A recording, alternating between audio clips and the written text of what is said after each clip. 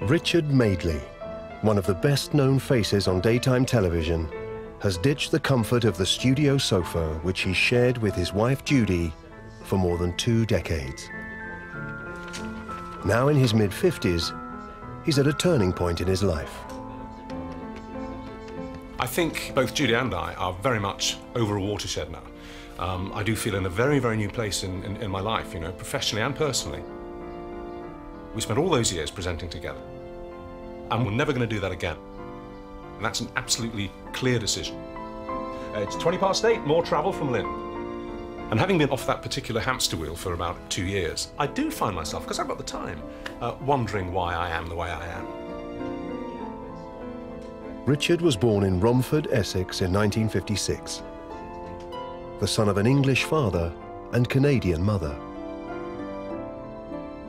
I know a lot about my father's side of the family back to the latter stages of the, of the Victorian era, the 19th century.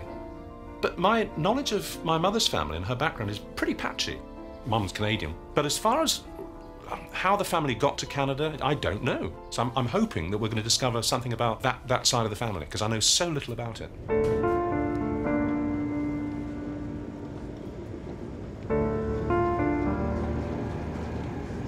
This used to be my, uh, this used to be my school train. Um, we used to get the train from, from Romford into Stratford and then get the tube to, to Mile End and walk to my East End Grammar School. Hasn't changed a bit, the backs of the houses. I mean, there's almost nothing changed at all. Extraordinary.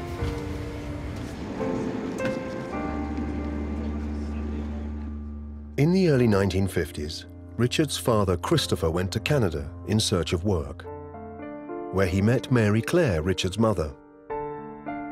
After marrying, they moved back to Essex, where Richard was born and grew up.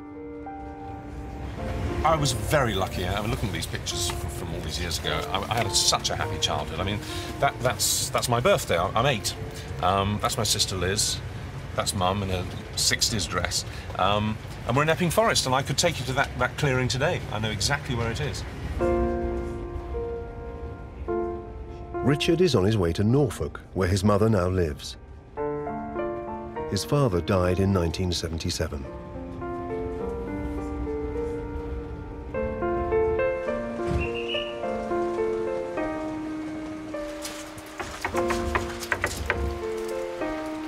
Come on, Mum, it's pouring down. it's horrible. How are you? You okay? Just come in. Have you got any pictures of your parents? I, I don't think I've ever seen a picture of them There together. is a picture of my father and mother, and that must have been soon after they were married.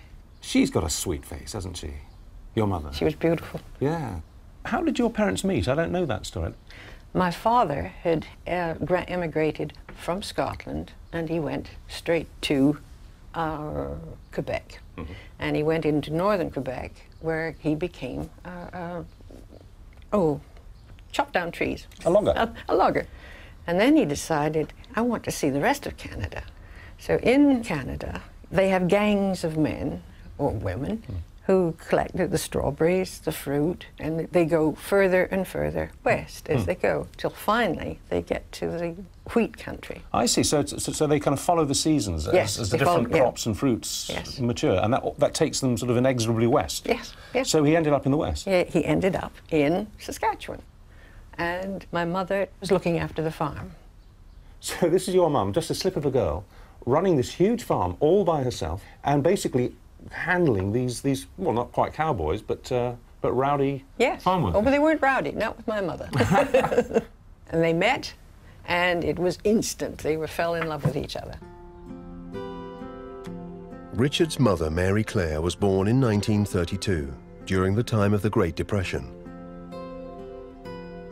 When she was growing up, the province of Saskatchewan was the agricultural heartland of Canada. Here, her parents, Hector and Barbara, had run the family's 1,800-acre wheat farm. And here is their wedding certificate. What year would this be? this Uh, 1926. 1926, and she was 19 then. Hector McEwen, trade and Farmer. profession farmer, and there's your mother's name, Barbara Violet Bailey. Your mother's occupation is he's put down as living at home. Yes. That's a fine career. Nothing wrong with that. Yeah. Her father was Harris A. Bailey. Was was Horace. police Horace, Horace. Bailey? We've got the maiden name of your grandmother, uh, Mary Murdoch. She was Mary Alvinia. Elvina. Alvinia. She was born in Nova Scotia. That is way she looked when she disapproved. That is one heck of a that's one heck of a disapproving expression. Have you got any other pictures of her? Was she not looking quite so stern? No. Yes, I have. Now that's what she is like more like normally. But you were very close to your grandmother. Very you? close, very Hmm. close indeed. Uh, as I was going to have dates, you know, when I was around 14, 15, Hmm. my grandmother uh, would always, she, she had a rocking chair, and the, rock, the, the bedroom window looked out on the street where I would come in. And she sat there until I came in, and then she slipped into bed. And if you were late, did she give you one of those looks? No, she didn't. She never did. She never did. I could do no wrong. But I'm sorry to say that my grandmother is the furthest back that I can go. Well, that's that's up to me to see if I can crack that. That's that's Good my luck. job. To trace his Canadian roots further, Richard has to start with his mother's grandmother, Mary Alvinia Murdoch, who he knows was born in the Canadian province of Nova Scotia. Do Mary A. Murdoch. Now, let's do that. There she is. Uh, this is from the 1871 Canadian census. Mary A. Murdoch. Uh, birth about, they're not sure, 1868 in Nova Scotia. Let's just view the images and see if there's anything more in here. Um, there she is, Mary A. And she was three at the time. Uh, there's Murdoch John, that would have been her father, who was uh, 43. And John's type of work, he was a farmer, another Canadian farmer. So I guess we need to type him in now. Right, we've got the register of deaths here from Nova Scotia. Uh, name of deceased, John Murdoch. Date of death, May the 14th, 1912. The address that he was listed at last was uh, South Street, Bridgetown. Uh, his occupation is given as a gentleman, and he is, of course, married. So we found him. There is a slight discrepancy here, though. I mean, here he's, he's listed as a gentleman, whatever that means. Um, in the earlier documents, he was a farmer. So something must have happened. So, Nova Scotia. A pretty cold, windswept place, I would have thought.